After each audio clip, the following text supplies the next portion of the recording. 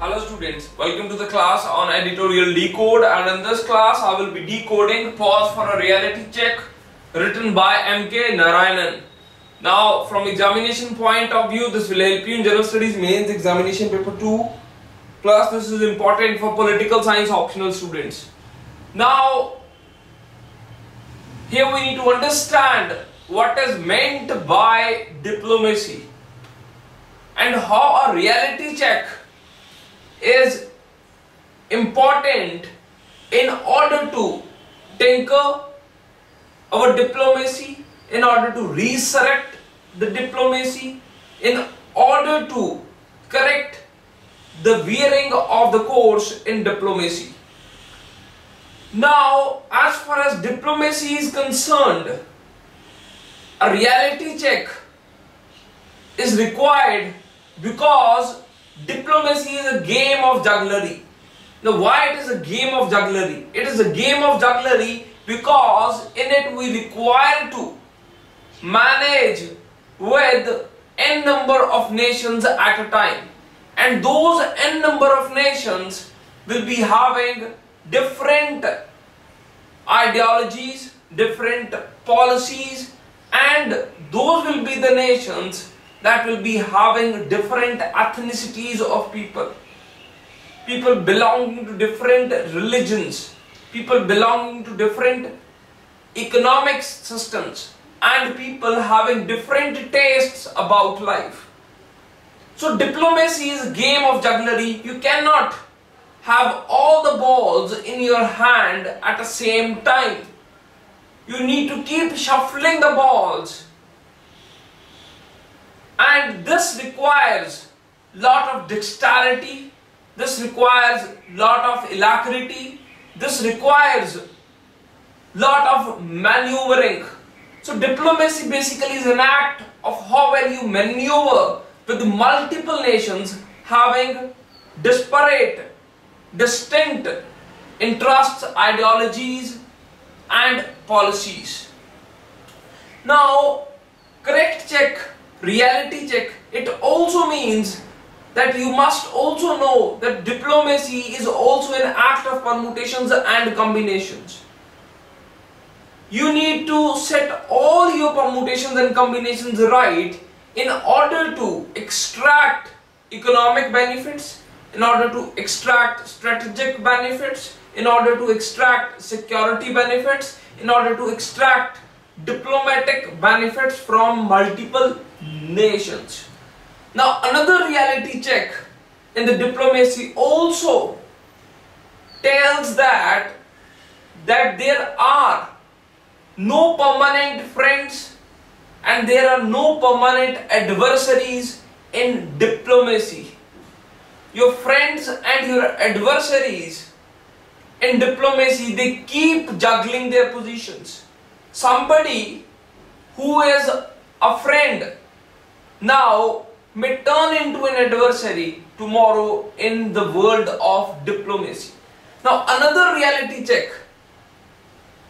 In diplomacy, nobody is your complete friend and nobody is your complete adversary.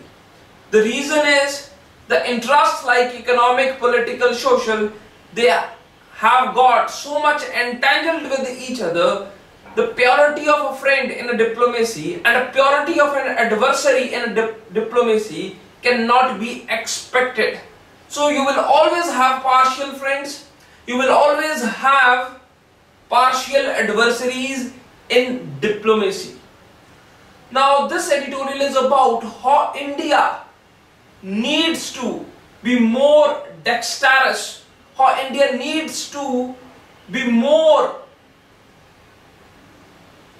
focusing on the intricacy of how diplomacy operates.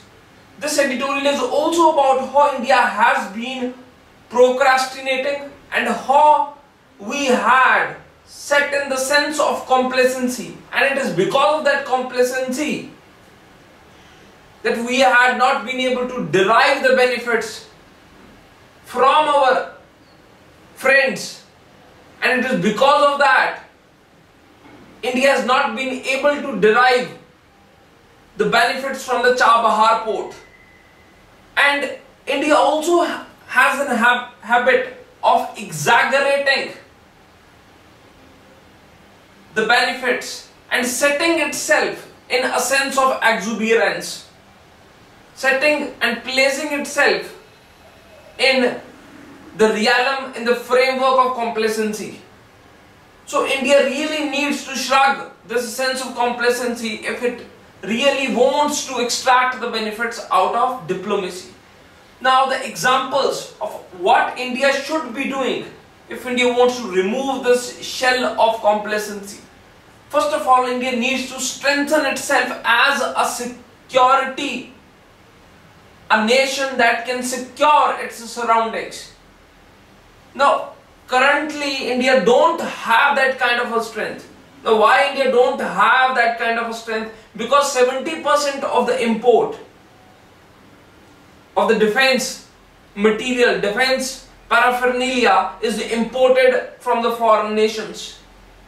We don't have the requisite strength to strengthen ourselves militarily and that is something that is very very important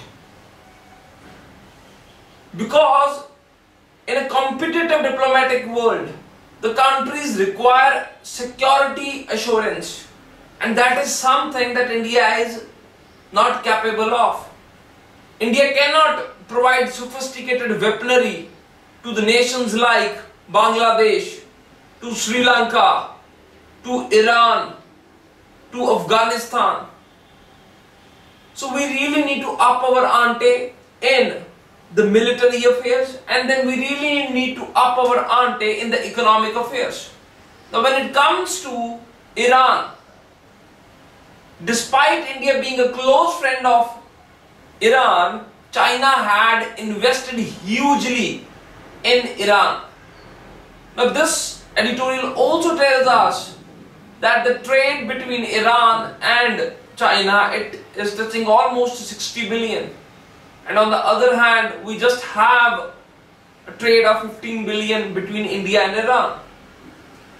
Now what it conveys it conveys that we should be having a holistic vision about the nations. We should be we should not only be doing our own calculations and taking a decision, but rather the calculation of the other nations must also be taken into consideration.